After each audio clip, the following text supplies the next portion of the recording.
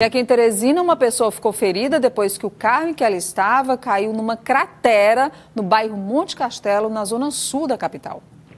Esse trecho da rua Juvencio Carvalho, no bairro Monte Castelo, zona sul de Teresina, segue interditado após um acidente registrado na noite desta terça-feira. Por volta das 10 horas, uma mulher que trafegava num veículo de passeio com o irmão não conseguiu visualizar as placas com indicações de obras e acabou caindo do local. As vítimas tiveram ferimentos leves. Há cerca de 15 dias, um reparo está em andamento no sistema da concessionária Águas de Teresina, que passa neste ponto. Mas quem mora na região relata que essa não foi a primeira ocorrência. Há 50 anos que eu moro aqui, 50 anos que a gente vive sofrendo, todo o inverno é esse sofrimento.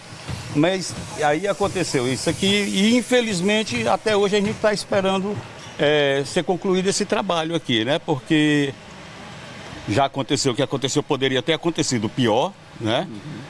Graças a Deus não aconteceu. E graças a Deus que a moça não, não chegou a falecer, né? Porque o irmão dela, acho que foi Deus que pôs a força no, no braço dele, que conseguiu puxar dentro do buraco. Porque se ela cai dentro do buraco, ela tinha que dentro da, da grota. Loucura, né? Em nota, a empresa Águas de Teresina informou que a concessionária realizou uma manutenção de rede de água no Monte Castelo, nas proximidades ali de uma galeria pluvial, que não faz parte do, da, do escopo da empresa.